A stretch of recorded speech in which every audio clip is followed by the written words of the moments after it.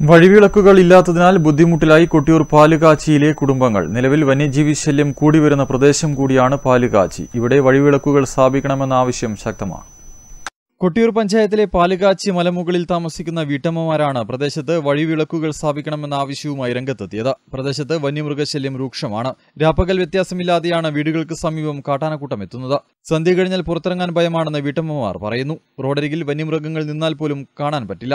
കാട്ടാനശല്യം രൂക്ഷമായതോടെ പാലുകാച്ചി tourism കേന്ദ്രം ഇപ്പോൾ അടച്ചിട്ടിരിക്കുകയാണ്. സമാധാനമായി സന്ധ്യ കഴിഞ്ഞ് പുറത്തേക്കിറങ്ങുന്നതിനായി റോഡിൽ വഴിവിളക്കുകൾ അടിയന്തരമായി സ്ഥാപിക്കണമെന്നാണ് വീട്ടമ്മമാർ ആവശ്യപ്പെടുന്നത്. എത്ര ഇരുപത്തഞ്ച് വർഷം മുമ്പ് ഈ ഈ ലൈറ്റ് ഇവിടെ ഉണ്ടായിരുന്നു. അതിനുശേഷം ഈ ആ വഴിവിളക്ക്. ഈ വഴിവിളക്ക് പോയതിന് ശേഷം പിന്നെ അത് അതിനെപ്പറ്റി ആരും അന്വേഷിച്ചിട്ടുമില്ല. ആരും ഇത് ഉത്തരവാദിത്തപ്പെട്ട് ഇത് ചെയ്യാനായിട്ട് ആരും വന്നിട്ടുമില്ല. ഞങ്ങൾ പല പ്രാവശ്യം ഞങ്ങൾ പറയുന്നു ഇത് പിന്നെ ചെയ്തു തരാൻ. അവരതും ആരും അത് ചെയ്തു നിരവധി തവണ വഴിവിളക്കുകൾ സ്ഥാപിക്കണമെന്ന ആവശ്യം ഉന്നയിച്ചുവെങ്കിലും അധികൃതരുടെ ഭാഗത്തു നിന്നും യാതൊരുവിധ നടപടിയും ഉണ്ടായിട്ടില്ല.